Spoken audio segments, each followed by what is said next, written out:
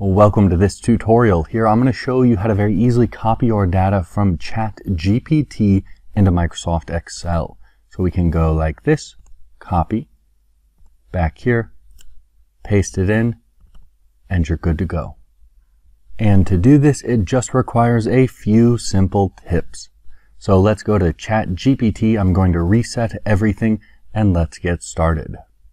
And if you like this tutorial, remember to check out my full Excel courses that'll help you automate Excel even more. They're on teachexcel.com and I'll put a link to them below this video.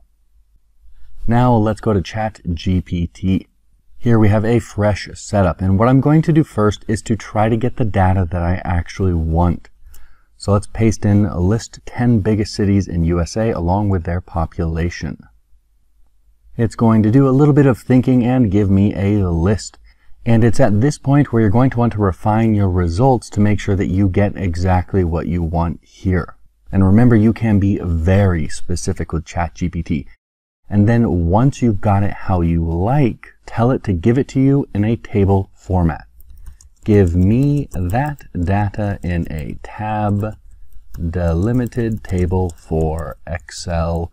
And I'm going to add without extra spaces on there because that one really helps. So the main thing is to tell it to give you the data in a table.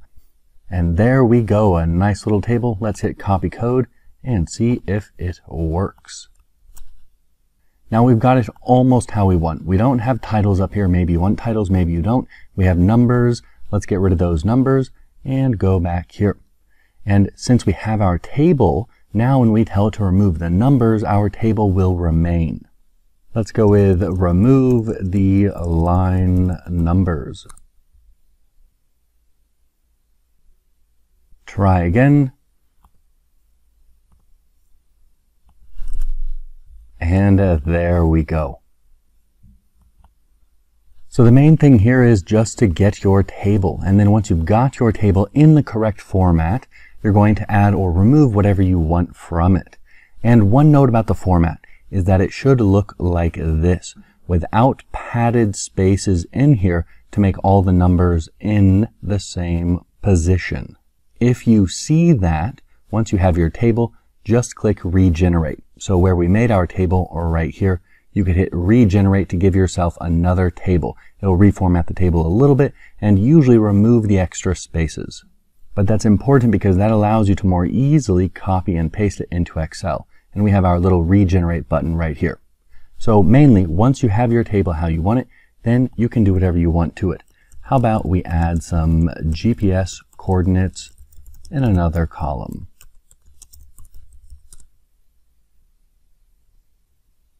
And this time we got titles, remove them if you want, or keep them.